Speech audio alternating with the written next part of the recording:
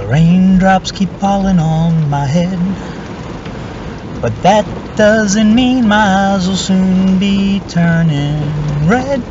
Crying's not for me, cause I'm never gonna stop the rain by complaining.